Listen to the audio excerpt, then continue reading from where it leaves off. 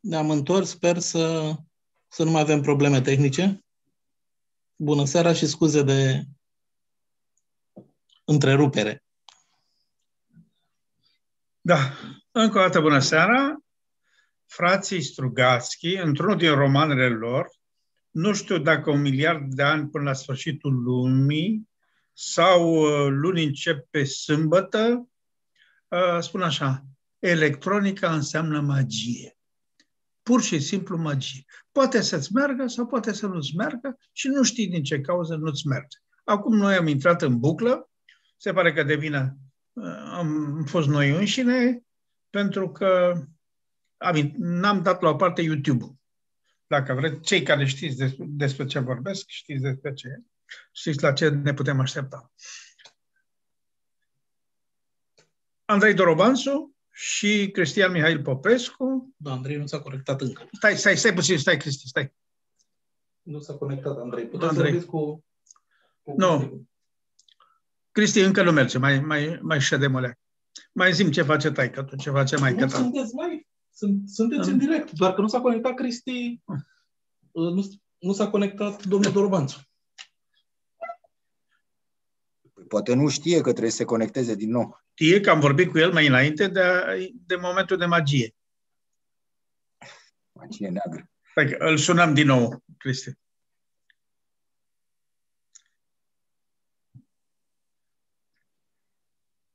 Puteți să vorbiți cu... Bun, hai să începem așa, de fapt, noi. Fizician cu medalie de, de pe vremuri, de pe vremea când era olimpic, lucrător la Măgurele, care ar trebui să fie unul dintre haburile din locurile de pe lobul frontal al civilizației românești, Cristian Mihail Teodorescu și scriitor de science fiction cu cărți foarte interesante, foarte bune. Dragul meu, în urmă cu câțiva ani ai scris o, o introducere, un editorial de fapt, la unul dintre almanacurile pe care le scotea știința și tehnică și uh, anticipația. Cam luai peste picior știința lumii, din ce țin minte, o leacă emoție am, am avut. Buzonul zi Higgs, e, cât e de puternic. Da, să vedeți că nu e chiar așa de puternic. Hai, te rog așa, încearcă în stilul Cristian Mihail Teodorescu un, uh, o plimbare pe peisajul ăsta planetar al științei. Uh, da, bună seara tuturor, uh, mulțumesc de invitație. Uh, ce să spun, uh, haideți să o luăm direct cu bozonul Higgs și cu undele gravitaționale. Deci au fost două premii Nobel. Uh, eu nu contest faptul că s-au descoperit aceste lucruri, uh, însă uh, e o problemă de deontologie aici. Uh, cum facem uh, să premiem o mare descoperire care nu se poate face decât într-un singur loc. Uh, deci bozonul Higgs nu avea cum să se descopere în altă parte decât la acel superaccelerator de la CERN care a fost construit special pentru acest lucru și a costat între 12 și 16 miliarde de euro. Bun, ok, foarte bine că au reușit până la sfârșit, dar ăsta era scopul, ăsta era fișa postului lor. Trebuiau să... Știi, dar s-ar fi putut să fie nu. Nu l-am da. găsit pe bozonul Higgs. Să fie nu, intră în uh, ceea ce se numește în limbaj de lemn uh, riscurile cercetării, uh, dar faptul că era mai degrabă da. Deci în momentul în care s-a decis să se, s-a, s-a decis să se uh, alimenteze acest super experiment cu o asemenea sumă, era mai probabil să se descopere. Ce facem? Îl premiem, uh, deci, cum să zic, uh, avem un om care cel mai probabil uh, e în stare să meargă 10 km fără să se oprească. Bun, poate să și cadă, să nu meargă, dar dacă merge aia 10 km, îl premiem. Cu undele gravitaționale, la fel, acolo nu e vorba de un singur laborator, ci de trei laboratoare, dar asta a fost șmecheria, că s-a descoperit un același fenomen astral, uh, coliziunea între două găuri negre, a fost înregistrat uh, la momente de timp diferite, ceea ce a permis să se și deducă viteza cu care se deplasează aceste unde gravitaționale și că se deplasează cu viteza luminii. Nu era foarte sigur. Uh, era una din teoriile existente, s-au băgat foarte mulți bani pentru lucrul ăsta, nu se putea găsi decât în acest fel uh, ne apucăm să-l premiem. Deci, în mod, în mod normal, uh, când dăm un premiu, uh, se, acest premiu implică o competiție. Eu, dacă, să zicem, institui, uitați cum e doamna Rada Mihalcea, de la, care a instituit acel premiu la Cluj pentru tinerii cercetători. Acolo candidează mai multă lume, cu șanse egale. Uh, sunt, uh, nu știu, 100 de candidaturi pe an pentru un premiu și se dă unul singur sau se dau două sau trei. Uh, nu, nu, e, nu e, e altceva. Deci noțiunea de premiu înseamnă selecție. În momentul în care premiem un lucru care nu se poate întâmpla decât într-un singur loc și care lumea se cam aștepta să se întâmple, aici e o problemă de... de, Bun. de... Domnul Teodorescu, te rog frumos să-l lăsăm pe Andrei Dorobanțu, dacă a intrat în da, pentru da. că, Andrei, trebuie să spun că ai avut odată o intervenție extraordinară la o întâlnire cu elevii unui liceu, când le-ai explicat ce face bozonul Higgs. Lasă gravide celelalte nu, particule. Nu, peste asta că... Hai, nu. Dar nu, aș vrea să te legi de, de ambele, ambele uh, declarații pe care le-a făcut Cristi. Uh, eu sunt uh, un pic uh, alături de uh, alături de Cristi, pentru că uh, una peste alta e foarte frumos, uh, cum a spus, uh, cum a spus el, apropo de uh, noțiunea de premiu care necesită selecție. Uh, iar în momentul în care tu, Cristi, spui că uh, au fost descoperite undeva unde s-au făcut uh, instalații uh, special uh, pentru asta, uh, știi cum e uh, atunci când uh, s-a pus problema Higgsului, hai să fim serioși, problema Higgsului s-a pus în 64. În 64 și a fost descoperit în uh, a fost descoperit 2012. Povestea este că se spune băieți, veriți și dacă puteți ori faceți-vă voi mașina, ori vedem cum cum procedăm. Iar de, cel puțin în caz, au mai fost cel, um, de, mă duc un pic de tot în spatele istorie, foarte puțin. Da? Prima mașină, așa cum ai spus tu, care a fost făcută pentru descoperirea Higgsului, nu este LHC-ul, vă rog, LEPU și LHC-ul, nu au fost ele. A fost SSC-ul, Superconducting Super Collider, care trebuia să fie la Waxahachie în uh, dar nu s-a terminat, din câte știu păi, eu. Nu a fost oprit, nu că nu s-a terminat. Da, nu, a proiectul fost nu interzis. A fost, da. a, fost, a fost interzis. Și acum, chiar dacă voi vă supărați pe mine sau uh, colegii noștri foarte tineri care deci ne ascultă... Nu poate supăra nimeni. Da, fii serios, uh, dacă știi. Uh, deci, eu am avut la un moment dat o discuție, nu știu dacă vi mai aduceți aminte, eu mi-l aduc aminte și l-am în față săracul de el, uh, pe Minu Marin, Alexandru Marin, colegul nostru de, de institut, uh, care era foarte bun uh, prieten cu Glashow, cu, mă rog, cu toată floarea fizicii americane, care a avut merit trebuie să spun introducerea pentru că părerea lui e așa. Uh, și uh, în plus, Minu a făcut uh, foarte mare parte din aparatura de la LEP, predecesorul RHC-ului, care se numea Large Electron Positron Collider. Pe urmă, asta a folosit-o pentru uh, a, și a început să facă aparatură și pentru Uh, și pentru LHC și uh, am avut o discuție la un moment dat și i-am spus, uh, el publicase o carte, pardon, uh, Petre, Petru Popescu publicase o carte care se numea Noul Adam. Și uh, am uh, se oprise, se interzisese SSC-ul. Ceea ce m-a uh, frapat pe mine a fost că Uh, fizicienii americani n-au făcut scandal. Ei făceau scandal la chestii mult mai mărunte. De data asta n-au făcut scandal. Și atunci i-am spus lui Minu, poți să râzi cât vrei, dar tot te întreb, nu cumva la un moment dat s-au gândit. Și eu asta este o întrebare care pentru mine, greșeala e greșeala e a mea. Uh, nu cumva uh, s-au gândit atunci, deci atenție, vorbim de anii 80, uh, nu cumva s-au gândit că s-ar putea să nu știe, că nimeni nu știa ce o să iasă de acolo. SSCU avea nu 20 de kilometri circumferință, ci 40 de kilometri și mergea direct planul inițial, planul original, era pentru 100 de tevi, deci de trilioane de electronvolt. Și zic, nu cumva s-au gândit că nu vor ști să înțeleagă și să se descurce cu ceea ce urma să se întâmple în accelerator.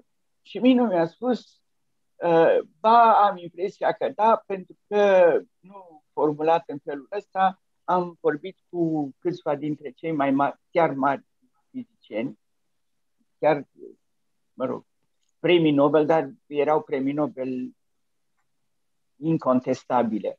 Iar uh, uh, la, când a venit povestea cu premiul Nobel, uh, na, nedreptatea care s-a făcut a fost că nu a fost luat nimeni din a treia echipă. Pentru că au fost trei echipe. Au fost Higgs singur, a fost echipa lui uh, francezului care a luat și el premiul Nobel și a fost o a treia echipă anglo-americană uh, în care numere cel mai uh, important era Tom Tibble și ar fi trebuit să-i se dea și lui Tom, pentru că el era autorul, autorul principal. Și nu i s-a dat după cum era normal să se dea a, o treime din Nobel să se dea echipelor Atlas și Siemens care au descoperit particula. Pentru că dacă nu o descopereau, nu arătau că într-adevăr este, nu se mai întâmpla, nu se mai întâmpla nimic. Deci mă opresc aici cu Higgs. Pe urmă, când mai este... Bun. Până la urmă, însă, modelul fizicii a rămas cel care e, pe care îl acceptați, pe care îl transmiteți mai departe studenților, elevilor și, și publicului din cauza bozonului Higgs, din cauza lui Large Hadron Collider și a întâmplărilor de acolo. Da și nu. Uh, pentru că uh, frumusețea mare a fizicii uh, și amândoi, Cristi și cu mine, suntem din domenii diferite cu cel puțin uh, minimum decent de cultură generală pe care îl avem și el și eu, de a înțelege și celelalte domenii. Așa, a, așa trebuie. Și vreau să spun că prima grijă a unui fizician, în momentul în care reușește să facă un model sau o teorie, este să găsească pe unde poate să iasă din modelul respectiv sau din teoria respectivă să iasă dincolo de ea. A fost un moment fabulos în laboratorul de fizică teoretică. Venea din când în când domnul Țiței. Uh, venea, să așeza într-una din camere și spunea, am venit la cafea și la bârfă. Și uh, uh, din momentul în care, bineînțeles că venea toată lumea în laborator, și din momentul ăla uh, începea o, o discuție, ziceai că cineva vrea să o, omoare pe toți ceilalți. Și la un moment dat a fost, uh, uh, nu mai știu cine dintre uh, cei de la teoretică, i-au spus lui domnul Țițeica, domn profesor, ne-ați învățat prost. și domnul Țițeica s-a uitat, uh, l-a măsurat așa, stătea pe scaun, s-a uitat așa în sus la el, l-a măsurat și a spus, uh, nu cum îți permis să spui așa, dar de ce spui așa? Ce pentru că fizica, așa cum ne-ați predat-o dumneavoastră și cum am învățat-o de la dumneavoastră, ne-ați arătat-o ca pe, pe o chestie rotundă, perfectă, frumoasă, admirabilă, ori noi aveam nevoie, dar nu ne dădeam seama ce este adevărat. Acum avem nevoie să uh, știm cum să căutăm găurile uh, prin care să putem să trecem uh, dincolo. Așa că marea valoare a, a modelului standard inclusiv a Higgsului, care era ultima pietricică, nu ca să fii liniștit că era corect uh, modelul. Uh, marea lui valoare este dată inclusiv, aproape aș fi în stare să spun, în aceste, în timpul pe care îl trăim acum, mai ales de faptul că principala preocupare astăzi este pentru ceea ce se numește New Physics. Să găsesc o fizică nouă, că sunt lucruri care de la început se știa că nu intră în modelul standard. De la materie întunecată la energie întunecată, la supersimetrie.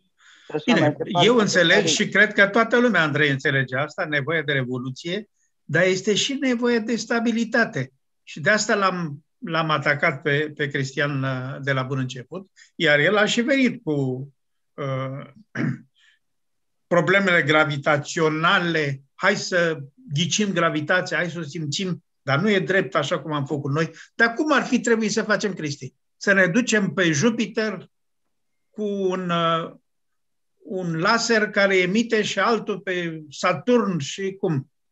Uh, da, aș, aș reveni puțin uh, la ce spunea Andrei mai devreme. Uh, deci, absolut de acord cu ce spunea el. Și eu, când am terminat facultatea, aveam senzația că fizica materiei condensate, că asta făcusem eu, așa, este ceva imuabil, clar, bine definit și tot ce trebuie să știi este să o cunoști în cât mai multe detalii, dar totul a fost deja făcut.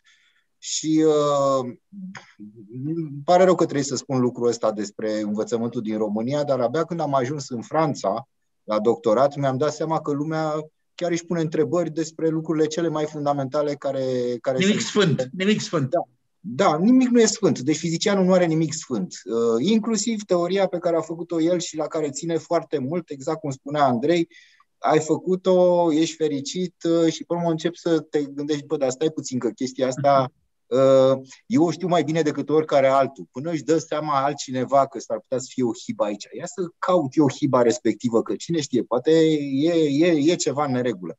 Deci, păi, vă spun la amândoi, dar știți, eu l-am auzit pe Călin Alexa, pentru care am toată stima și care zicea zdravă, zicând așa, sunt unii care se îndoiesc foarte tare de Albert Einstein. Da. De ce a zis, de ce a făcut, de ce... Mie mi s-a părut așa, ca pieton pe stradă, e o problemă. Deci toate, toate experiențele moderne, deja sunt mii de experiențe care au arătat că se poate transmite informație cu viteză mai mare decât viteza luminii. Deci asta nu este... Uh, uh, este asta spui pentru că ești și scriitor SF? Da, nu, nu, nu. Spun pentru că există documentate experimente din astea de care nu se mai îndoiește, nu, nu mai se mai îndoiește nimeni în momentul de față, dar uh, atenție, aici sunt niște detalii, putem să discutăm mult. Uh, domnul profesor Vrejoiu ne atrăgea atenția că limitarea vitezei de viteza maximă de transmitere a semnalului la viteza luminii este, apare doar în momentul în care mai considerăm un principiu despre care nu se vorbește în teoria relativității, care se numește principiul cauzalității. Deci dacă două evenimente sunt cauză și efect într-un sistem de referință, ele sunt tot în această succesiune, în orice alt sistem de referință, dar de asta nu se, n-a spus Einstein în mod uh, explicit. Deci numai atunci apare uh, deci tu poți face teoria relativității zicând doar viteza luminii este un invariant, atât. Deci este o limită fie superioară, fie inferioară pentru de transmiterea semnalului. Dar uh, nu, e, nu, nu interzice viteze, viteze supraluminoase a priori teoria relativității decât când ia în considerare un principiu așa mai filozofic, uh, ca să zic așa. Mie mi se părea că domnul Călin Alexa pur și simplu hulea, cum hulești și dumneata acum. Păi Totuși. ce înseamnă să hulești? Care, deci ce înseamnă a huli? A huli înseamnă să lucrezi într-o organizație, deci e legat de o organizație religioasă în care de anumite adevăruri, de anumite propoziții nu te poți, uh, nu te poți atinge, pentru că atunci hulești. Hulești numele Domnului sau hulești, uh, nu știu, Spiritul Sfântului Augustin. Uh, în fizică nu există. Deci Einstein nu este un sfânt pentru noi. A fost un fizician foarte bun. Feynman la fel. Dar putem în orice moment ce ar fi fost Einstein să nu pună la îndoială teoria lui Newton, de exemplu? Păi Newton. Cine era Newton? Păi Newton era pentru lumea fizicii de la monument. 20 un monument mult mai mare decât reprezintă Einstein cu Feynman, cu Schrödinger, cu Heisenberg, cu ă, tot ce vreți dumneavoastră în momentul de față pentru noi, cei din secolul 21. Uh, ă, și totuși se pune, asta este, lumea, cunoștința evoluează, asta este partea uh, frumoasă a, a fizicii spre, deci dogma, era vorba despre dogmă, cred, în, uh, în editorialul acela pe care l-am făcut, dogmatismul da. care apare, care apare din, nefer, din nefericire de multe ori în fizică, adică uh, Uh, dacă începi să lucrezi cumva împotriva dogmei, evident că te trezești cu toți adepții dogmei că îți sar în cap. Dar uh, asta este. Mă rog, e un, e un dialog. Uh, nu te omoară nimeni, nu mai ești ars pe rug în momentul de față când susții lucruri din astea. În sfârșit. Deci e, e, e, e clar că este, este o disciplină, este nu că e o disciplină, un mod de cunoaștere care evoluează. Carl Sagan spune așa, nu există de fapt decât o singură dogmă, aceea că nu există niciun fel de dogmă.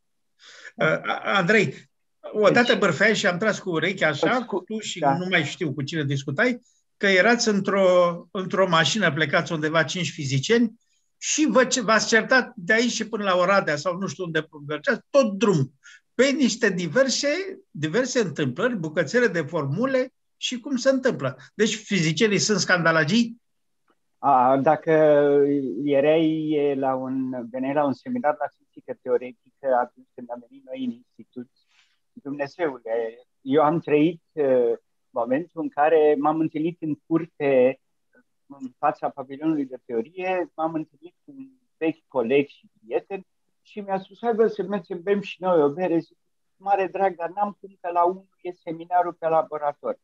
Și zice, e, și nu poți să lipsești? Zic, Ba pot să lipsesc, dar astăzi nu pot. Ce, de ce? Zic, pe el țin eu. A, zice, pot să merg? Zic, sigur că da, a venit cu mine, s-a terminat seminarul și urmă am mers în cameră unde stăteam cu Mircea Popa, cu Călin Șabac și cu Mihai Stihi și acolo se bea cafeaua. Și am intrat, discutam acolo și la un moment dat amicul meu venise cu mine s-a ridicat și s-a dus la unul dintre ei și a spus, păi, voi vă bateți joc de mine? Zice, cum adică? Păi, și acum 20 de minute îi spuneați ăstuia că e tâmpit că nu știe ce vorbește și că și acum văd că sunteți cei mai buni prieteni. Și atunci el i-a dat următorul răspuns. Uh, zice, da, a reușit să termine seminarul. Zice, da. Ce tu crezi că noi ne întâlnim în seminar Uh, ca să ne lăudăm unii pe alții ce frumos suntem și ce deștepți. Nu! Noi facem intenționat scandalurile pe care le facem pentru a învăța cum să ne apărăm lucrurile pe care vrem să le, să le susținem. Așa că așa era. Dar vreau să vă dau un exemplu. Cristi este o dovadă nemaipomenită a faptului că lumea nu este atentă la ce se spune inclusiv voi, acum. Tu cu Adrian, nu, eu în, n-aveam cum să nu, oricum, eu l ascult totdeauna pe Cristi, dar de data asta, de ce a spus un lucru pe care, fără să acuz pe nimeni, îl treceți cu vederea. Pentru că el a spus așa, uh, cu fac, fac puncte, puncte, viteza luminii ca viteze limită inferioară sau superi- superioară sau inferioară. Povestea este așa că, așa cum a spus Cristi, și cu cauzalitatea și cu tot, chestia este că nu poți să atingi viteza luminii, dar nu ți se spune de unde să fii. Pot să existe, poate să existe o lume în care să existe numai vitezele mai mari decât viteza luminii, care nu poate să aibă contact, legătură cu lumea în care este uh, valabilă axioma că nu poți să atingi urcând, crescând vitezele dincolo de viteza luminii. Pe urmă mai este ceva uh, absolut uh, extraordinar. Uh, constanța vitezii luminii uh, se aplică în situațiile în care ai de-a face cu corpuri materiale. Da? Ați auzit de multe ori, probabil, că așa, după ce ai învățat un pic și cu Big Bang și cu toate astea, atunci judecata logică, logic simplă este cât are, ce, ce rază are Universul. 13,7 miliarde de ani lumină. Și te uiți pe urmă și vezi scris acolo că uh, Universul merge până la vreo 46 de miliarde de ani lumină. Și spui, ori eu uh, n-am învățat bine, ori uh, spui prostii. Nu se spune prostie pentru că se întâmplă așa pentru că are loc expansiunea spațiului. Deci spațiul, iar la spațiu nu se pot aplica principiile lui Einstein, indiferent de care dintre relativite.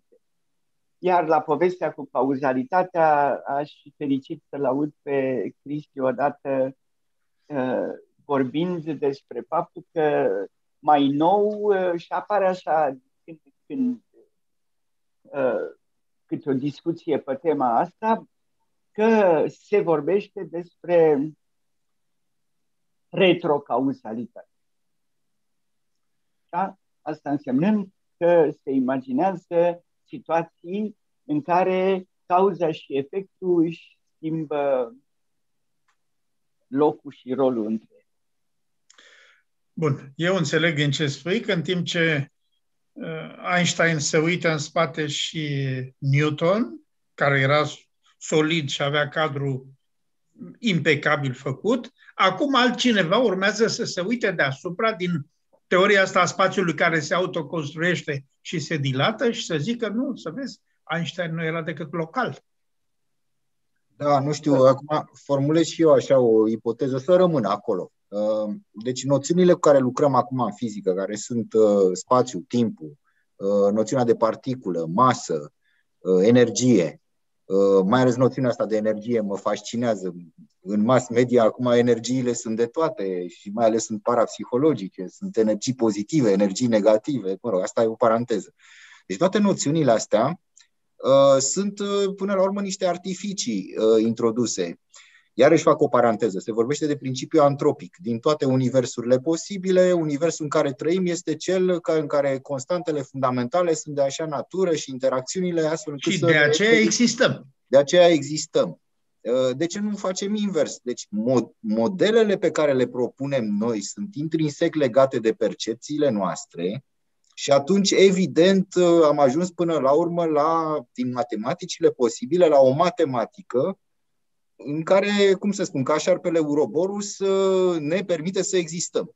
De asta e pentru, din cauza, din cauza uh, cum, uh, modului în care generăm noi modelele respective, pentru că nu putem să le generăm uh, în abstract.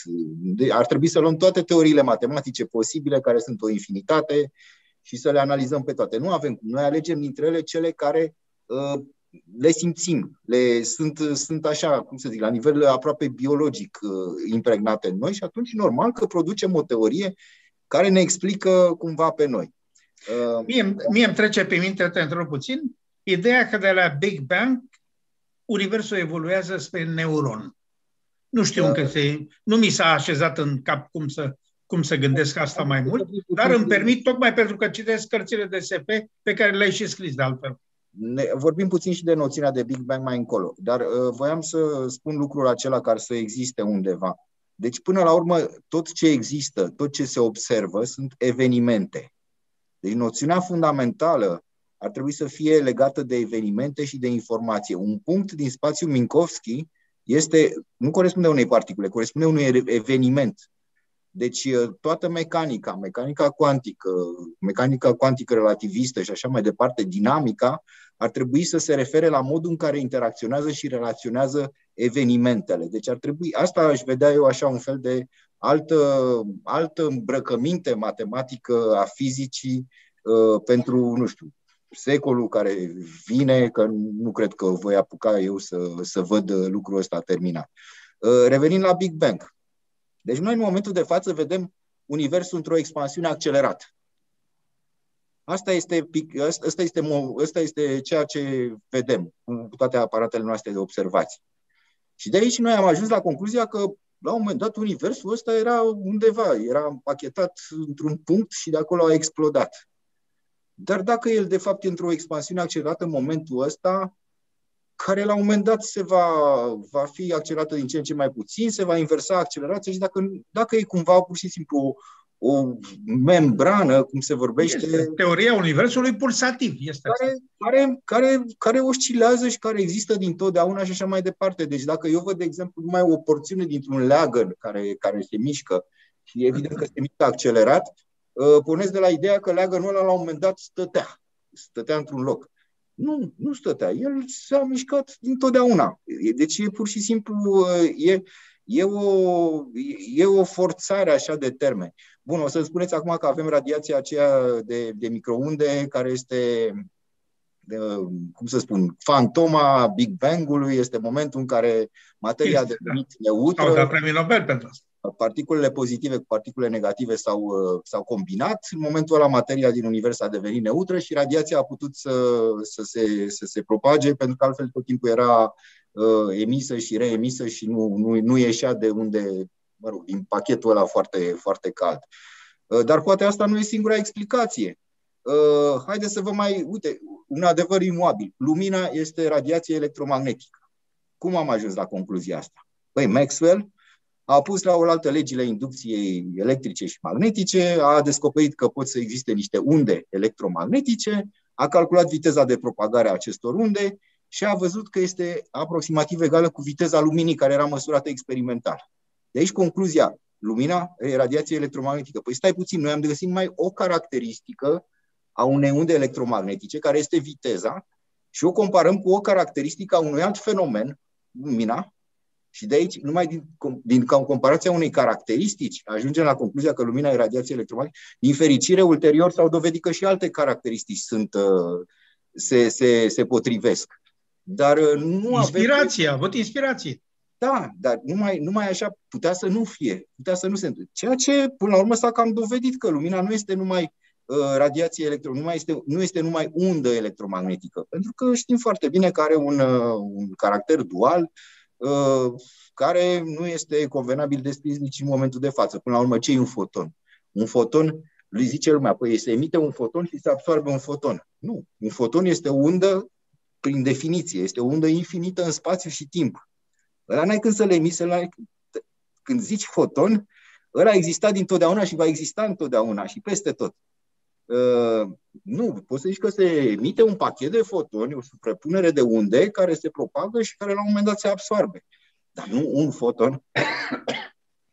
Deci, Asta deja sunt concepte amețitoare pur și simplu. Hai să ne coborâm puțin terater, adică la, la voi, la Măgurele. Andrei, cum mai e viața pe, în spațiul ăsta fabulos care s-a construit mai ales urmarea intervenției marelui, monumentalului fizician Păi e, anul ăsta e un an special uh, că se împlinesc 65 uh, de ani de când de când s-a mutat o bucată din Institutul Academiei. Deci povestea a fost foarte interesantă că în 49 s-a făcut Institutul de Clinică al Academiei. Da? Acum am găsit uh, și cu toată rușinea vreau să spun că n-am dormit o noapte întreagă din cauza lor. Am găsit niște documente publicate de domn uh, despre începuturile fizicii uh, și anume, în primul rând, despre o perioadă despre care n-am știut absolut nimic. Uh, perioada 50, deci în 49 a fost o Institutul Academiei, perioada 53-55 și, și cu pasul în 56 când s-a inaugurat uh, la Măgurele, uh, la Măgurele Institutul. Deci niciun horror politic uh, nu poate să, să depășească ce s-a întâmplat atunci, ce lovituri sub centură, ce s-a încercat, ținta principală fiind într-adevăr domnul domnul Hulubei trebuia să fie înlăturat. Domnul Hulubei trebuia să fie înlăturat de, nu, nu o să spun nume, de așa, niște tovarăși care erau foarte șucăriți că nu sunt ei în primul, în prim plan și a fost uh, o reclamație, de asta știam, de aia n-am dormit, pentru că multe dintre lucruri uh, mi le aminteam ca fiind primele pe care le-am aflat înainte de a intra uh, în institut, că noi veneam de, prim, de pe anul 3, tot veneam la, tot veneam la institut. Uh, uh, a fost demis la un moment dat domnul A fost demis uh, și de adjunctul lui științific, de director adjunct al institutului, de o poveste cumplită.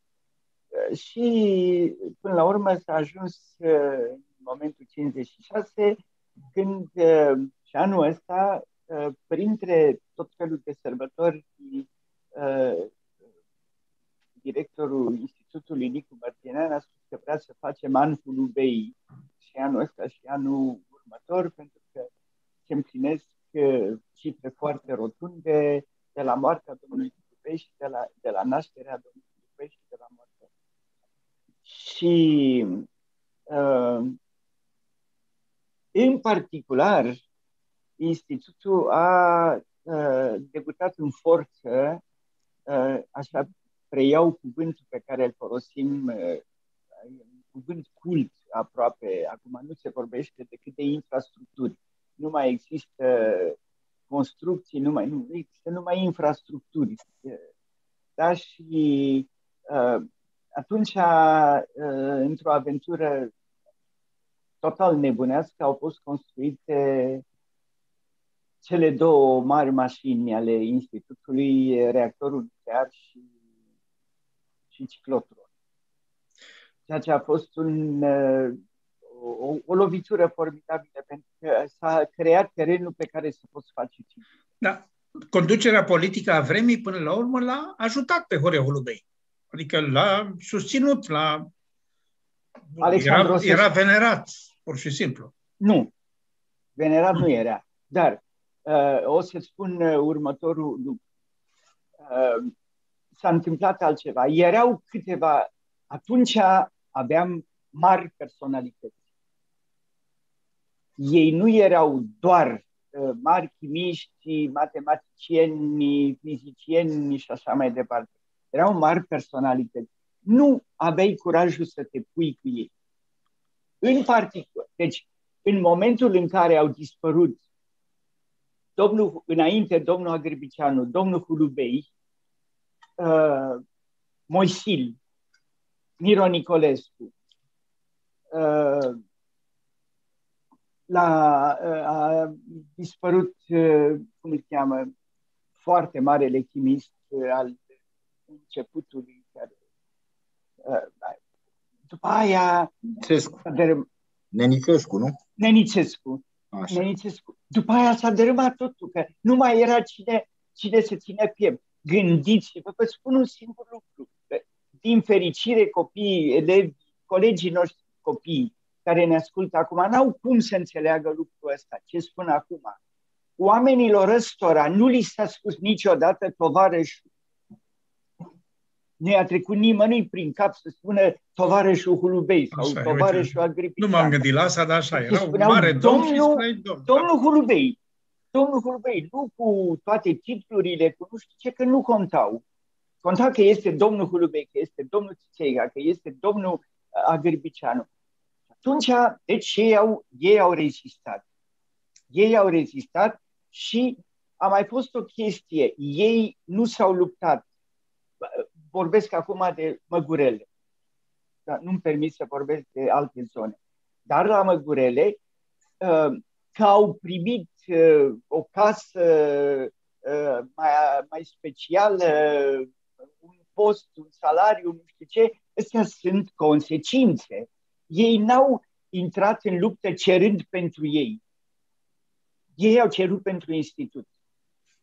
ei au făcut institutul să fie așa cum l-am apucat noi în momentul în care în jumatea anilor 60 am ajuns, uh, am, am, am început să venim mereu la institut și pe urmă, gândiți-vă, deci eu am fost prima oară în institut, eram elev, cum sunt elevii care ne, uh, se uită la noi acum, uh, am uh, intrat în institut când institutul avea patru ani. Da? 56 și cu 4 fac 60. Da? Intram în clasa 10 și am fost aduși să vedem, să vedem reactorul. Deci de atunci era, era ceva nemaipomenit, că primul șoc pe care l-am avut a mers cu autobuzele institutului, nu ale institutului, autobuzele care circulă, cir, și acum circulă, dar atunci erau saracele de ele, drumul era prăfuit, drumul reactorului, deci când treceai și o luai la stânga spre reactor, drumul reactorului era pavat. Era pavat cu niște pietre uh, pătrate foarte mari, puse frumos așa, și între pietre creștea ghețișoară. Deci vă dați seama că nu se circula, că nu se circula pe acolo. Și, deci, oamenii ăștia au fost oameni care au, încă o dată, tot despre, numai despre măgurele vorbesc, uh, oameni care ne-au considerat uh, cum facem, cum face și Cristi cu echipa lui, cum face Călin Alexa cu echipa lui, uh, noi ne considerăm colegi de diferite vârste. Cum făcea Nicu Zamfir când era, veneau oamenii la laser. Da, deci ăsta e spiritul măgurele pe care îl datorăm, pe care îl datorăm domnului, domnului Culubei. Iar gândiți-vă, și tac din gură, apropo de reactor și ciclotron, reactorul a făcut două școli. A făcut școală în Europa de instalarea unui reactor nuclear, pentru că a fost primul reactor nuclear în, în afara, nu a spațiului, a Uniunii Sovietice, care a fost instalat în Europa de uh, est-sud-est, sud și est, da? și a făcut a doua școală care a fost școala uh, cum să spun, uh, dacă nu vine cuvântul acum, demantelării uh, reactorului. Deci a fost pentru de prima oară de comisionar de comisionerii reactorului. A fost pentru prima oară când s-a făcut. Da. Asta e. Scuze. Da. Voiam să vin și eu așa cu o completare. Da, să nu uit, Cristi, să te întreb. La un moment dat depusese cerere de brevet pentru nu știu ce țintă, mi-ai spus, acum vreo 2-3 ani. A, deci, atunci la, la zi. Mai de, mai de mult, da. Da, era da. vorba de ținte pentru laserul de mare putere. Și? Uh, Păi n-am, n-a ieșit până la urmă, a fost uh, respins brevetul. Uh, nici nu m-am... Uh, eu, era o treabă destul de greu de făcut. Deci uh, nu intru în detalii experimentale, dar ar fi trebuit o instalație de, nu știu, 500.000 de euro cam pe acolo și, și muncă multă ca să-l vreau. Deci eu am brevetat principiul.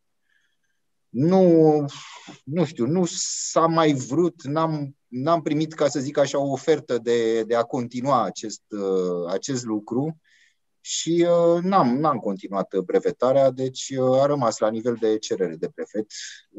Asta e, nu toate cererile de brevet se și concretizează cu brevete de invenție. Asta iarăși e un lucru pe care trebuie să-l știm la toate evaluările. Cererea de brevet e ceva nu foarte greu de făcut. Brevetul, în schimb, obținerea brevetului și mai ales menținerea brevetului, deci achitarea tuturor taxelor, Uh, ăla e într-adevăr uh, un rezultat, să zicem. Uh, voiam să completez puțin ce, ce spunea Andrei despre epoca aceea. Deci, în perioada în care s-a făcut IFA, au existat niște indezirabili care aveau niște probleme, să zicem, politice, mai ales politice pe la dosare. E, autoritățile comuniste, dominate de că erau rușii aici peste noi, Uh, n-au fost foarte rele, adică nu le-au dat voie să lucreze la IFA, au fost depurați, dar s-a înființat un alt institut, IFB, Institut de Fizică București. care mai se numea și Institutul Fără Bani. Deci, și care a avut un sediu pe undeva pe calea Victoriei, după care s-au mutat în militar și abia din 74 au venit și ei pe platforma Măgurele. E, din acest IFB în care, mă rog, mentorul nostru era domnul profesor Grigorovici, a, s-a format institutul din care fac eu parte. Deci noi suntem cumva așa, am venit deci, ca formație, cumva din afara IFEI. Acum, ce să zic, nu e, să nu credeți că cei de la IFB, care erau institutul fără bani, îi dușmăneau pe cei de la IFA, care erau institutul de fizică A. Da? nu, din potrivă se ajutau între ei. Deci, de exemplu, domnul profesor Oncescu, care era ceva șef pe la IFA, l-am cunoscut uh, în, uh, în, uh, în, prin anii aceia, efectiv a făcut o ilegalitate. Deci a furat un microscop de, electronic de la IFA, pe care nu folosea nimeni, și l-a dat la IFB.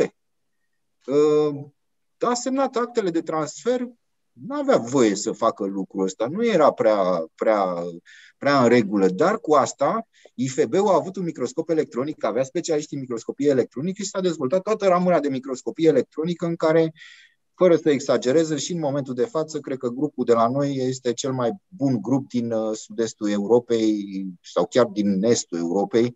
Uh, sunt solicitați din toate părțile, din toate țările, apar articole Nature, Uh, deci uh, e... Și asta numai din cauza că domnul Oncescu a furat acel microscop de la IFA și la, la IFB. Deci, Hai să spun, a furat e termenul cam dur așa. L-a deturnat, l-a deturnat, zicem. A fost o, o deturnare de, de aparatură. Nu știu ce au făcut uh, contract, dar asta ca să vedeți că totuși autoritățile uh, mai închideau ochii dacă era vorba totuși să se obțină o performanță. Da? Pe când în momentul de față în care discutăm care sunt mult mai multe posibilități, sunt mult mai mulți bani, nu mai putem vorbi în momentul de față de vreun IFB. Nu există institut fără bani. Toată lumea a avut acces la fonduri structurale. Ehm, în fine, proiecte, proiecte europene a putut să se doteze. Ehm, regulile sunt mult mai stricte, ți e greu să muți un leu de la salarii la materiale, că ți s-a stricat ceva și trebuie să mai cumperi un filament și zici, îi dau la 10 lei mai puțin sau la salariu, dar vreau, nu, nu mi-ajung banii de filament. Nu, nu poți.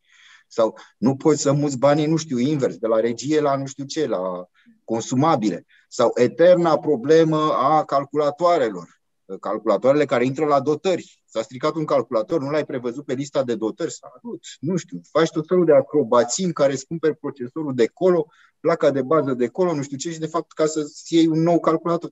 Deci, în momentul de față, autoritățile și, uh, din păcate trebuie să spun asta și la nivel european, iar ai noștri n-au știu decât să-i copieze și să devină și mai uh, cerberi, uh, sunt foarte cu ochelari de cal în ceea ce privește Uh, uh, cum să spun, uh, utilizarea, să, să nu zic numai a banii, utilizarea resurselor, că vorbim și de salarii.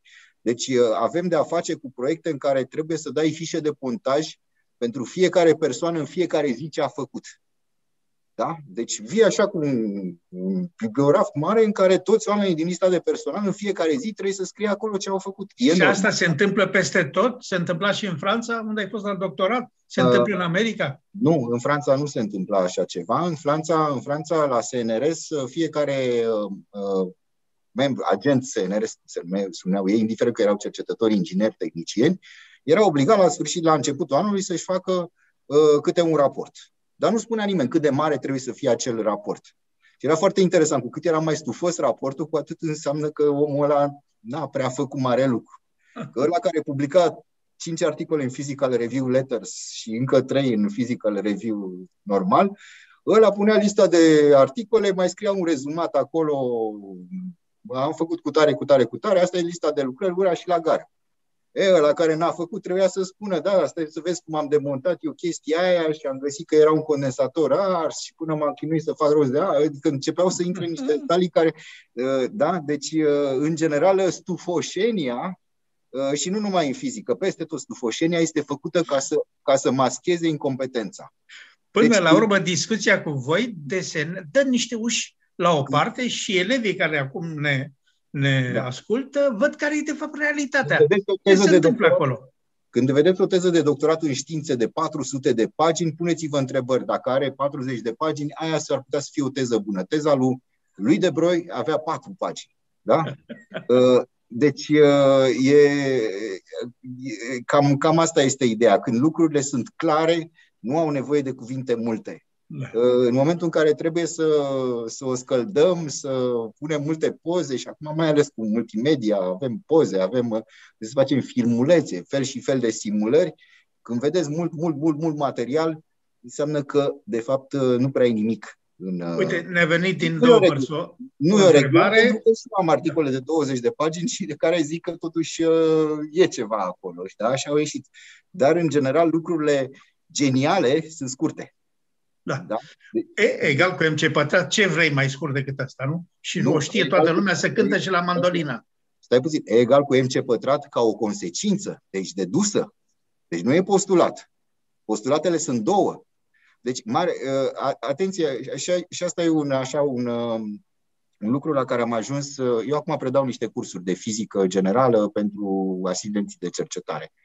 Și gândindu-mă cum să formulez principiile, de ce avem de făcut? Principiile dinamici, principiile termodinamici, mecanici, termodinamici, în fine. E, uh, spre deosebire de matematică, unde avem, să zicem, trei module la orice teorie matematică. Parte de definiții, deci scriem definiții. Cu tare, cu tare, e un grup, e un corp, e un nu știu ce, o structură, se definește cu totul. După care partea de axiomatică, deci în care se presupun niște lucruri și așa sunt. Deci de la asta trebuie să pleci de la ceva, de la niște afirmații, mă rog, pe care nu trebuie să le demonstrezi. Postulatul Euclid, da? Deci o, o astfel de afirmație. Sunt toată, tot restul teoriei care sunt numai deduceri. E, în fizică, principiile, cu excepția teoriei relativității, principiile sunt un amestec de definiții și de axiome. Uh, da, uh, principiul al doilea al dinamicii, forța e masa ori accelerația. Păi până atunci nu, vorbea, nu vorbea nimeni de accelerația, cam știam ce este, dar nu știam nici ce este masa, nici ce este forța. Feynman descrie pe pagini întregi ce este forța. Se întreabă el ce este forța. Când introducem noi forța. Sau forța este variația impulsului în unitatea de timp. Dar ce e impulsul? Deci, practic, într-un uh, principiu am băgat un fel de, și de definiții și de axiome, așa, le cam, le cam amestecăm în teoria relativității, nu. Cele două principii, axiome, putem să le numim axiome ale teoriei relativității, sunt separate și pe baza acestor axiome se deduce tot restul. Deci, din punctul ăsta de vedere, seamănă foarte mult cu matematică. Mecanica cuantică, iarăși, e o chestie în care principiile sunt, de fapt, înglobează și definiții uh, și axiome, deci nu, nu e făcută ordine matematică. Mă miră că matematicienii nu-și bagă nasul în chestia asta. Deci că nu, că nu, încerc, nu ne trag așa de mâine, că băi, fii atent, că tu ce înveți la școală acolo, e cam zarzavat. Ia, încearcă și tu să faci, să faci un pic de ordine, să zici, băi, uite care sunt definițiile și care sunt uh, și, și ce deduce și care sunt axiomele și ce se deduce din ele, cum e o teorie matematică. Uh, deci, uh, și asta, și asta este o problemă, dar poate, de fapt, asta e frumusețea fizicii, că e un fel, un fel, un fel de poezie. Așa. Dăm voie să intervin cu un moment, de când erai foarte tânăr, tocmai luase și medalie la Olimpiada și erai la mare în tabăra care era pentru olimpici. Pe mine mă bâzea atunci un inventator. Trebuie să spun că din cei care au venit de-a lungul timpului la știință și tehnică, o anume parte, făcuse un statistica, veneau cu perpetuum mobile. Și omul era hotărât, sigur că dacă își pune el o bilă și curgea apa așa și și ți intra clar în, în chiar contrazicea prima, prima lege a termodinamicii. Nu puteam să scap de el, venea și a doua zi să-mi explice și asta mi s-a întâmplat de multe ori și odată ți l erai acolo puști încă și ți l-am pasat. Vreau să spun că după două ore omul s-a întors luminat. Da, zice, am greșit. am spus de multe ori povestea asta. Cum asta să convingi un perpetuum mobilist că nu e perpetuum mobil, că nu e adevărată gândirea lui, crede-mă că e un, o, o performanță. Da. Andrei, vreau să, vreau să te întreb așa. Unul dintre băieți, unul dintre copii ne întreabă multiversurile, multiuniversurile, universurile paralele. Sunt adevărate? Sunt uh, idee fabuloasă, fascinantă? A, că sunt fascinante este, este clar. Uh, deci este ca și cum uh, îi răspund uh, colegului meu tânăr, este ca și cum uh, m-ai întreba dacă sunt adevărate superstringurile sau dacă sunt tot felul de teorii din fizica actuală adevărate. Nu avem o dovadă. Nu avem, nu avem o dovadă tentația mea este în fața colegilor din școli să spun că eu tind să uh, spun că sunt reale pentru că nu am cum să resping existența dimensiunilor, para, dimensiunilor adiționale. Eu prefer să le spun adiționale, că vin în plus, nu sunt suplimentare. Uh, dacă noi știm că trăim în uh, trei dimensiuni, care se pare că sunt până la urmă 10 sau chiar 11, depinde de teorie și nu mă pune să discut aici în continuare că se termină și întâlnirea de data următoare. Cu ce coincidențe poți să, poți să întâlnești? I-ai spus lui Cristi la un moment dat despre um, vezi, imaginezi cum Uh, are loc expansiunea neuro, uh, universului până la, până la neuroni. Uh, v-ați gândit vreodată că ordinul de mărime, atenție, al stelelor dintr-o galaxie, al galaxiilor din univers, este același ordin de mărime al neuronilor din creierul nostru. Da, așa e. Da? Așa că mă întorc. Cea mai cum să spun eu, um, e, nu o să vă spun uh, ce dovezi s-ar putea căuta pentru multiversie. Mai e, e o discuție uh, mai sensibilă și mai complicată, care pornește însă, uh, se poate uh, pregăti discutând pe problema dimensiunilor paralele. Uh, scuze, scuze dimensiunilor adiționale. Iar aici, povestea cea mai frumoasă și nu ca poveste, ca exemplu, exemplu pe care l-aș da oricând ar veni vorba de așa ceva, este cel uh, povestit, i s-a întâmplat lui, povestit de Micio Pacu, care uh, muncise, era obosit și așa mai departe și la un moment dat uh, s-a dus să se plimbe într-un parc de pe lângă universitatea lui și în parcul ăsta era un bazin cu apă și bazinul ăla pești japonezi.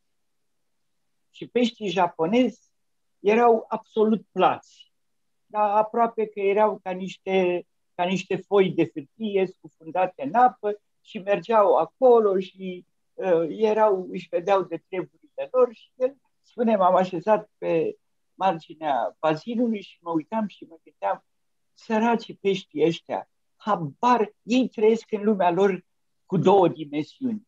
Și habar n-au ce frumuseți sunt aici și ce înălțim și cum e atmosfera și cum și așa mai departe. Și mă gândeam așa până în momentul în care s-a întâmplat ceva extraordinar. A început să plouă. Și atunci când ploua, s-au făcut vălurele pe suprafața apei. Și în felul ăsta, tot mediul în care trăiau peștii, din bidimensional, a devenit tridimensional. Ca să încerci să verifici, măcar pentru tine, dacă există mai mult decât trei dimensiuni, trebuie să-ți propui să cauți ceva care se întâmplă și care să fie ca picăturile alea de apă care transformau și le aduceau informații. Cristi a folosit de câteva ori și spun să româna că a făcut-o, cuvântul informație. Le aduceau informații peștișorilor despre ce se întâmplă despre ce se întâmplă afară. Splendid, deci, de exemplu, minunat. Deci asta, a, asta este și până când tac din gură, apropo de, iarăși, a treia oară îi mulțumesc pentru ceva lui poveste astă seară, uh, povestea, uh, cum a spus el, că dacă ai ceva de spus, pui în 20 de pagini, în 10, în 15, dacă pui 200, atunci trebuie să le lași și pentru alții să le, să le citească. Um, este a patra, a 16-a dintre scrisorile provinciale ale lui Pascal, deci gândiți-vă de când vine. Și el nu contează cui scrie, dar uh, scrie în felul următor. Și dacă am făcut foarte scurtă scrisoarea mea, asta este numai pentru că n-am avut timpul necesar ca să o fac mai Ce frumos! Da. Cristi, teoria stringurilor... Uh, nu, lasă că vreau tot cu universurile paralele. Să rog, zic, da, da, da, exact.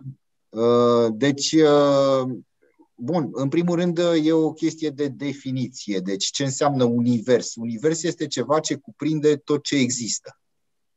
Deci, ar trebui multiversul care cuprinde toate universurile, de fapt multiversul ăla e univers. Adică nu, univers înseamnă că ce ai universuri paralele. Putem să spunem, să vorbim de lumi paralele. Uh, și atunci uh, trebuie să definim aceste lumi. Ce înseamnă o lume? O lume înseamnă, uh, să zicem, un ansamblu de evenimente, dacă vreți, sau de particule, de ce vreți, care interacționează între ele și se văd unele pe altele. Da? Tot ce se vede cu tot este o lume. Da? Și atunci putem să vorbim de lumii paralele în cadrul acelui univers, dar nu de universuri paralele. Acum, din teoriile pe care le-am mai citit și eu, nu sunt specialist în uh, domeniu, există o observație foarte interesantă. Deci, la un moment dat, în disperare de cauză, pentru că în continuare avem problema aceasta cu gravitația, care nu se lipește cu celelalte forțe ale naturii uh, și mai ales e foarte slabă. Uh, și în disperare de cauză, la un moment dat, uh, cred că Liz Molin sau nu mai știu, deci din zona aceasta au propus, domnule, gravitația este de fapt așa de slabă pentru că ea iese din lumea noastră. O parte din energia gravitației se propagă spre alte lumi, ca să nu zic universuri. Deci avem niște lumi paralele, să zicem așa, niște foi de ceapă, una peste alta, și un corp care produce un câmp gravitațional. Câmpul ăsta gravitațional spre deosebire de, câmpuri, de celelalte câmpuri care se, a căror energie este confinată, să zicem, în lumea aceea, e, gravitația scapă. Și din cauza că scapă în multe lumi, atunci de-aia e așa... Nu mai auzit asta, dar e o teorie interesantă. Așa. Păi e interesantă pentru că dacă ne imaginăm că în lumea aceasta avem o galaxie și în lumea de deasupra e cam aceeași galaxie, dar s-au întâmplat niște lucruri. Adică e puțin, e o lume diferită. E o galaxie în care s-au întâmplat alte evenimente, dar pe ansamblu macroscop e, e cam aceeași. Și încă una, și încă una. Avem câmpul gravitațional de la toate celelalte galaxii care influențează și gravitația din uh, galaxia, din lumea noastră. Și asta ar putea fi o uh, o explicație pentru uh, materia întunecată. Pe e o idee fabuloasă. Vreau să spun că în felul ăsta instrumentele care măsoară câmpul gravitațional, undele gravitaționale, își găsesc în felul ăsta o uh, justificare. E asta și teoria matematică, pentru că până la urmă ce crede. Deci uh, aici fac, fac o paralelă, de exemplu, cu religia. Deci religia, religia este cel, este, este, cum să spun, este sistemul perfect de, de idei, pentru că pornim de la o singură axiomă. Există Dumnezeu și totul este din, vina, din, uh, din voința Domnului. Am terminat. În momentul ăsta totul e din, voi, din, din voința Domnului, nu mai trebuie să venim cu principii, cu legi, cu nu știu ce. Totul se întâmplă ca așa vrea Dumnezeu și, mă rog, aici intrăm în niște uh, modalități de a influența cumva, de a-L implora pe Dumnezeu să facă într-un așa fel încât să ne fie nouă mai bine. Uh, deci nu ai nevoie de tehnologie, nu ai nevoie de legi, nu ai nevoie de matematică, nu ai nevoie de nimic. Ai nevoie doar de credință și de axioma asta. Uh, în uh, știință avem și acolo niște axiome, niște un principiu fundamental care este acela al matematicii și cu cât aparatul matematic sau teoria matematică este mai uh, frumoasă, se zice frumoasă, ce înseamnă frumos?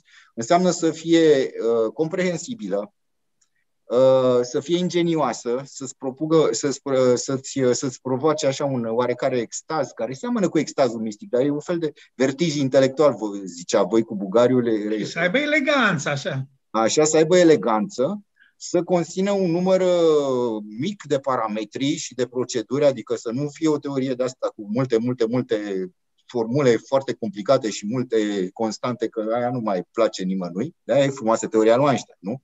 Că e simplă până la urmă. Uh, și atunci, cu cât un aparat de ăsta matematic este mai simplu, mai elegant așa, putem să-l credem mai mult, dar credem uh, aici, aici îl credem cumva așa pentru că ne satisface intelectual, uh, satisface dorința omului de de, de, de, de a merge spre, de a, de a sublima lucrurile, de a merge spre chintesență. Pentru că altfel, uh, vă dau un exemplu. Uh, uh, omul cu memorie perfectă al lui José Luis Borges. Deci, da, era un om care își amintea absolut totul, era în stare să, să vadă, să perceapă fiecare frunza unui copac, fiecare larvă, fiecare lăcustă și absolut totul își amintea. Omul ăsta nu avea niciun fel de capacitate de analiză. Uh, asta, deci după ce Borges uh, laudă caracteristicile lui și cât de, cât de grozav era, el nu putea să înțeleagă numerele. De ce trebuie să fie numere? Deci el a inventat un sistem uh, al lui de numerație în care fiecare număr, fiecare număr avea asociat câte un cuvânt. Când s-au terminat toate cuvintele din limba, a început să facă combinații de cuvinte, astfel încât 40 de mii, nu știu care, se numea Negru Timotei de exemplu. Sau, uh, așa era și el le ținea minte. Deci el nu avea, nu avea nevoie de abstracțiune, nu avea nevoie de, de analiză. Deci cumva nevoia asta de, de chintesență, de abstracțiune și de analiză uh, este, uh, este o transpunere a limitării noastre. Noi nu suntem computere cu niște memorii infinite, deci avem nevoie de algoritmi. Ce era frumos la, la facultate, la fizică? Era, era frumos că nu trebuia să tocești materia. Trebuia să știi principiile fundamentale și să ai mecanismele după care se deduce. Fiecare subiect era cât de fapt o problemă. Se por- trebuia să știi de la ce se pornește și cam la ce trebuie să ajungi. Și dacă știai matematică, ajungeai. Nu, era, nu, nu trebuia să înveți formulele pe din afară, în niciun caz. Da? Deci sunt o grămadă de formule din fizică pe care eu nu le știu pe din afară, că am nevoie de ele, acum le găsești pe internet. Scoteam o foaie de hârtie și mi le deduceam. Aha, da, asta era, așa se făcea. Uh, nu ai nevoie să le înveți pe din afară, nu e, nu e toceală. Uh, da, vezi cum ai spus? Ai spus, dacă știam matematică, ca și cum, dacă știam limba japoneză, făceam asta. Ai pus matematica într-un clondir, așa, în care e un instrument, doar un instrument. Nu, uh, e o limbă, Alexandru, nu mai... E o limbă. E și, e și un mod de a fi, să știi, uh, nu numai e o limbă, nu, nu, că se vorbește de limbaj matematic, este un, este un mod de a fi. Uh, deci, uh, nu, eu nu, nu înțeleg, nu pot niciodată să uh, aflu de un fenomen nou fără să-mi imaginez, domnule, cam cât, cam cum se produce, cam cât, câți bozoni Higgs se pot obține, câți, care sunt ordinele de mărime. Vin tot felul de colegi și la mine, bineînțeles, și au venit de-a lungul timpului în care să spună, bă, hai să facem chestia aia, că uite ce frumos și nu știu ce, și dăm piație și obținem și nu știu ce. Bine, bine, ok, foarte frumos. Uh, primul lucru, bibliografie. Hai să vedem, poate a mai făcut cineva lucrul ăsta. De multe ori m-a apucat decât un lucru, ca să constat că tocmai se publicase un mare articol pe ce voiam eu să fac. Da? Deci, primul lucru, bibliografia, avem acces la baze de date, mergem și vedem, stăm două, trei zile, citim, uh, nu trebuie să citești din scoarță în scoarță, dar să vezi, să răsfoiești bibliografia. Al doilea lucru, fezabilitatea. Deci, hai să vedem, bun, ok, câți fotoni vin cu pe câte particule, cu cât, uh, care este probabilitatea să se producă o interacțiune, să vedem câte evenimente se întâmplă sau avem vreo șansă să vedem care este sensibilitatea aparatului pe care vrem, să, vrem, vrem să-l folosim. Deci astea sunt niște, cum se noțiuni de bază, nici măcar de aritmetică, nu de matematică, pe care, pe care de la asta trebuie să începi. Că pe urmă începi să te gândești la niște legi, la niște dependențe, la niște funcții, la mergând mai departe la structuri foarte complicate, algebrice.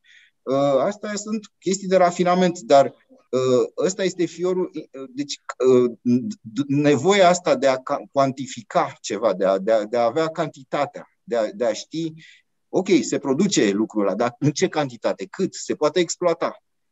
Nu înseamnă că ești inginer. Înseamnă doar că ai matematica cumva în sânge. Asta e. Deci e, e un mod de gândire. Asta voiam să zic.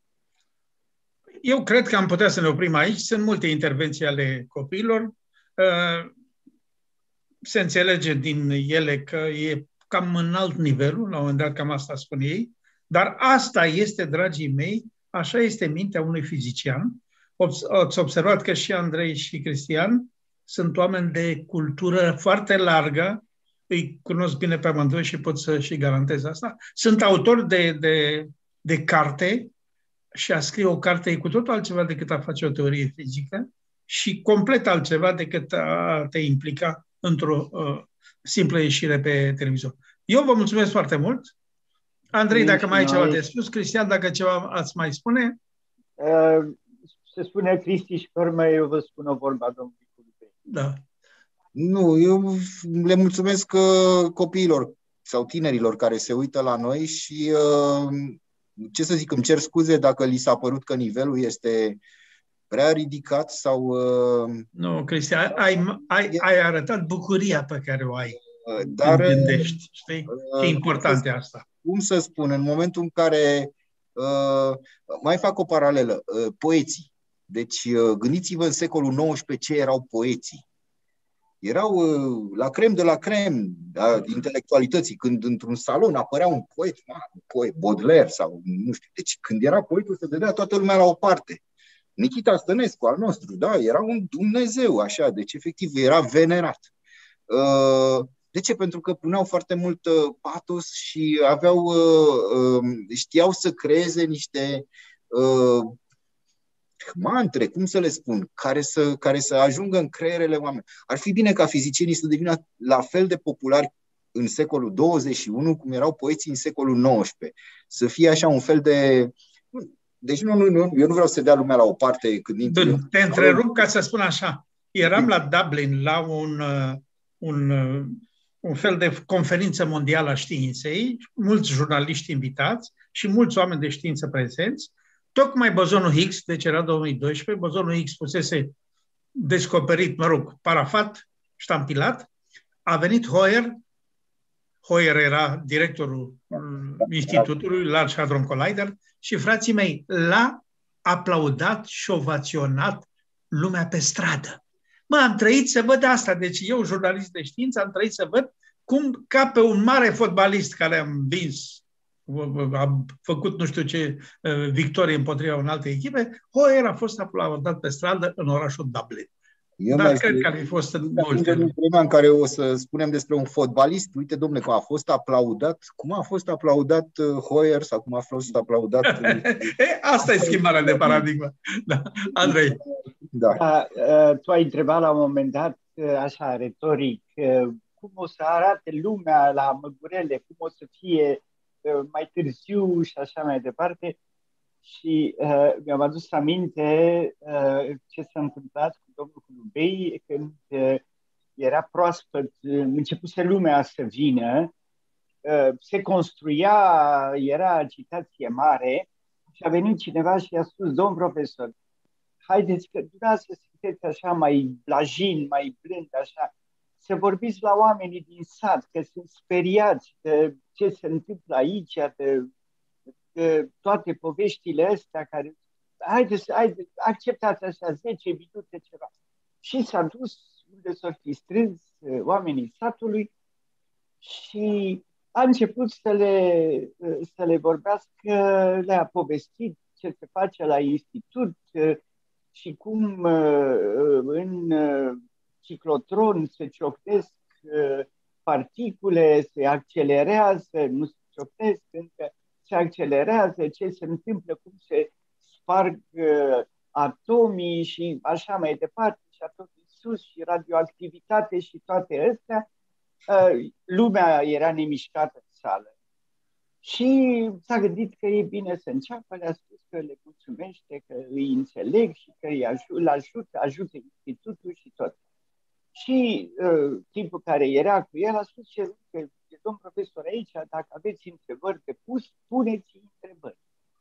N-avea nimeni curajul și atunci s-au întors respectul care exista în statele de pe vremuri uh, către unul din bătrânii satului, care era considerat uh, cel mai uh, înțelept dintre ei și el era chemat să vorbească atunci când nu-și găseau ceilalți cuvinte. Și uh, bătrânul respectiv, cu părul alb, uh, așa, cu mâna pe, pe bastonul lui, a spus, uh, domn profesor, uh, vă mulțumim foarte mult. Vă mulțumim foarte mult. A fost extraordinar cum ați vorbit. Și să știți că am înțeles tot, din tot ce ați spus dumneavoastră. Dar zice, aș avea totuși o întrebare. Ce te rog frumos, spune. Ce domn profesor, atomi din ăștia de care vorbiți dumneavoastră, noi în România avem? Așa că uh, la stilul la care evoluează lucrurile acum și cum am auzit pe Cristi spunând și cum se întâmplă, Dumnezeule, e posibil să ajungem la o, la o vreme în care să căutăm atomii de la început, să vedem ce mai găsim. Eu, într-o apărarea și lauda ta, trebuie să spun însă, pentru micul publicul tânăr care este, că Andrei Dorobanțu este organizatorul unei conferințe din luna decembrie care repetă ceea ce se face încă de pe vremea lui Newton, mi se pare, în... No, lui Faraday lui Faraday în Anglia și că am asistat an de an la întâlniri cu mari personalități ale științei mondiale la Ateneu Român, dar ceea ce vreau să spun este că nu numai că lumea, că sala era plină, dar sala era plină cu elevi. Asta mi-a plăcut din inimă. Asta înseamnă că o parte a lumii mici, o parte a celor care acum ne ascultă, vor neapărat să se înfrupte din fructul pomului cunoașterii. Mulțumesc frumos tuturor. Noi vă mulțumim și îmi pare rău că nu ne-am văzut și cu copiii. Poate că altă da, ei, să vedem cumva dacă empatia asta pe care putem să o transmitem, că știm toți trei să ne întâlnim cu, cu publicul, dacă nu cumva va fi reînviată după o vreme. Hai să intrăm în normalitate și o să vedeți că lucrurile o să fie bine. Mulțumesc frumos, domnilor Mulțumim. doctor. Mulțumesc. La revedere. Frumos. La revedere. La revedere. Sănătate. Pa, Cristi. Pa, Andrei. Pa,